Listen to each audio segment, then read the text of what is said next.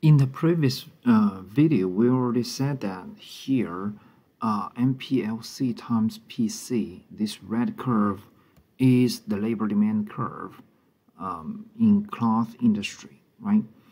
Uh, similarly, we can derive the labor demand curve in food, okay? As you could imagine, it's going to be downward sloping. It's very similar to this, um, this uh, one, okay, uh, for cloth.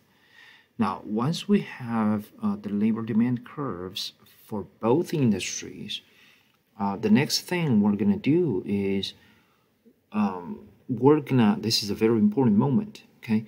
We're going to flip the labor demand curve in food and put it on the top of this one in front of you, the labor demand curve in cloth.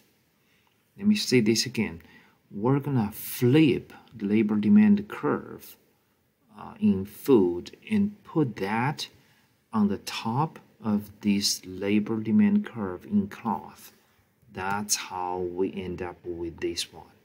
Okay. Now here, uh, the blue curve, the, it's downward sloping. That's a demand curve for labor in cloth. So this is a regular one and you should refer to the left uh, y-axis, okay, uh, which is a marginal product or uh, wage rate, okay. And the horizontal axis is still labor, okay, hired uh, or employed in the cloth industry, okay. Now, because we flipped the labor demand curve in food, so that's why you see this red curve here, okay? Uh, you may think it looks like it's upward sloping but it's actually not because you're supposed to refer to the right uh, vertical axis this one here okay? Again um, uh, the horizontal axis is the amount of labor employed in food but remember this time the origins is here okay? So when we move towards the towards the left that means the more of labor employed in food industry. Okay, so this is a little counterintuitive. Okay, so um, but if you look at these, you know, from the from the right to the left, you would find that the red curve here is still a downward sloping. Okay.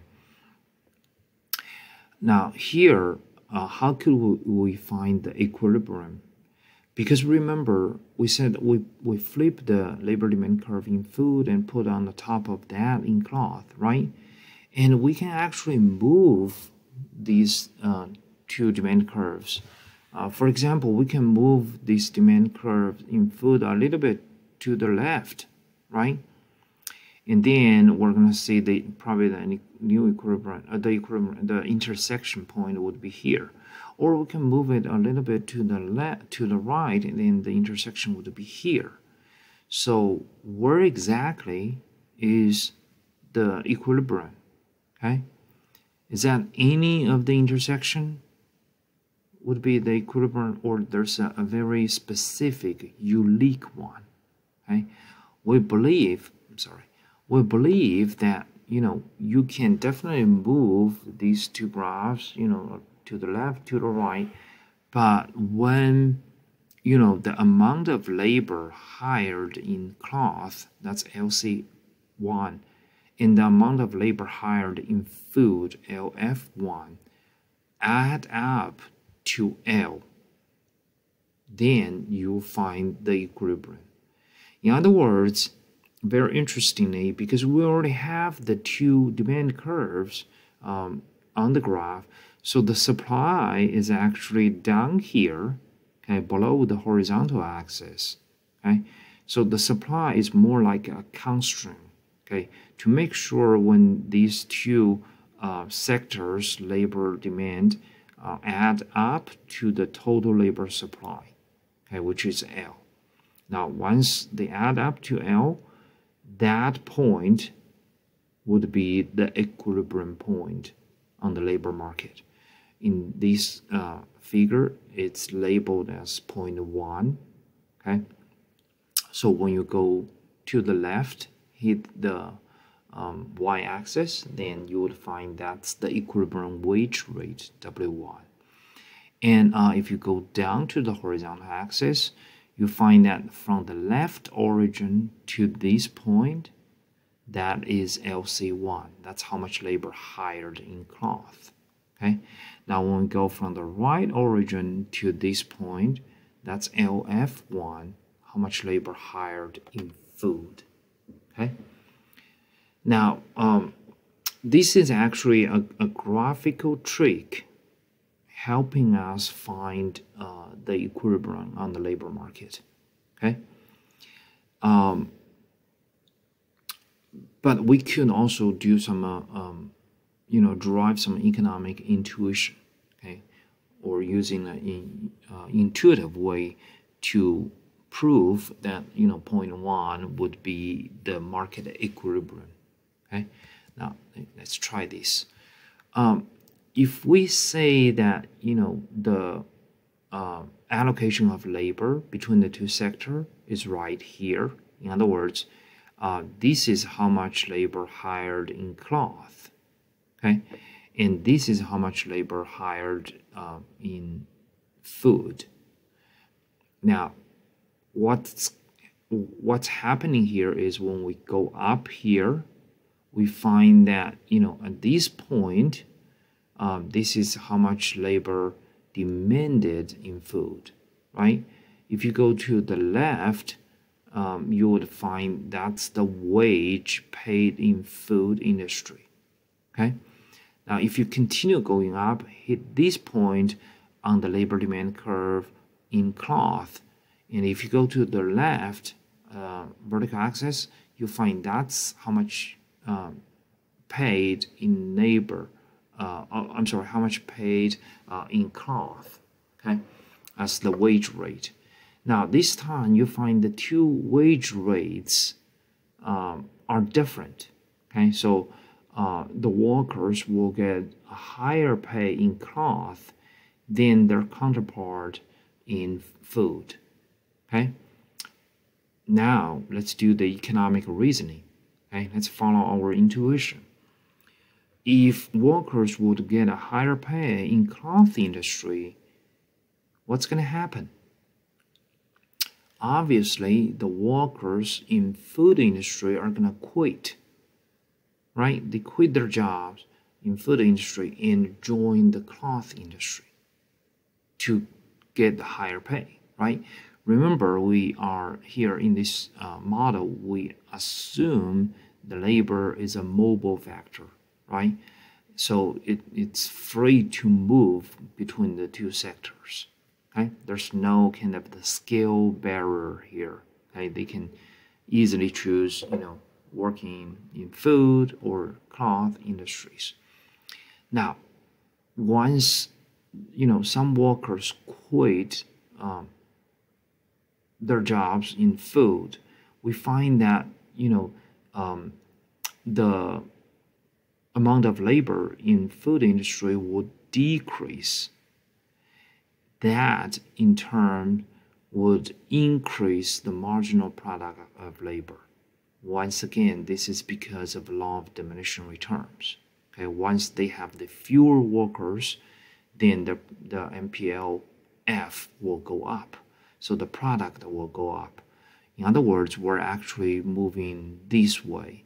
So we find that the food industry is shrinking.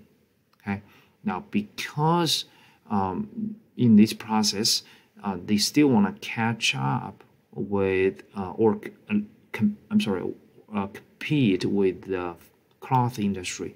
So the the uh, food uh, producers have to offer a higher wage to keep their workers. Okay. Now let's look at the opposite uh, side. So in cloth industry, uh, because they offer a higher wage, so they attract a lot of workers from food industry, right? Once the cloth um, industry hired more workers, the marginal product of labor uh, in cloth would decrease because of LDR, law of diminishing returns. So the products, the product here, uh, of price and MPLC would decrease okay for a given price uh, in other words they are moving down this way okay?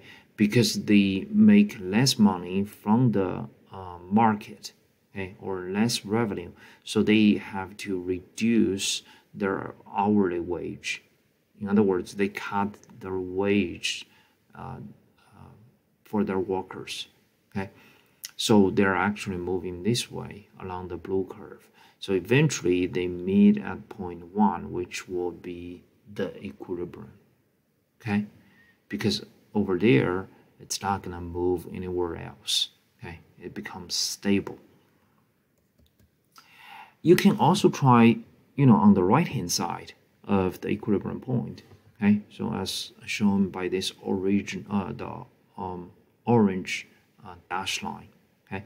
I'm gonna leave this for you guys to figure out okay? You, you use your own um, you know thinking in trying to figure out if we start from here then which sector offers a higher wage and what's going to happen to their marginal product of labor which uh, would eventually you know bring this back in, um, to the equilibrium okay?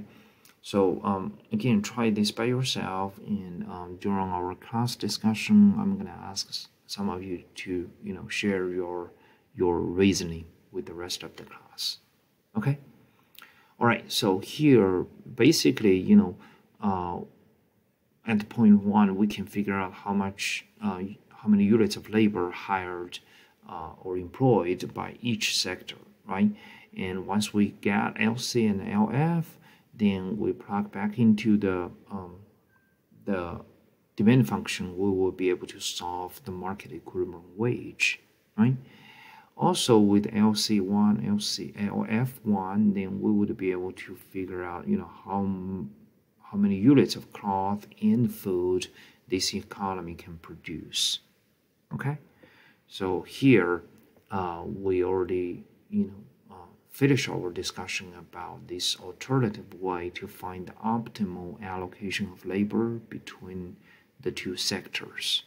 Okay, now in the next video, we're gonna rely more upon math and just show you a, a simpler way uh, to find the answer okay? Because here you know it looks like it, it took a while for us to get here but uh, we're gonna you know in the next video introduce a, a simpler way to find the answer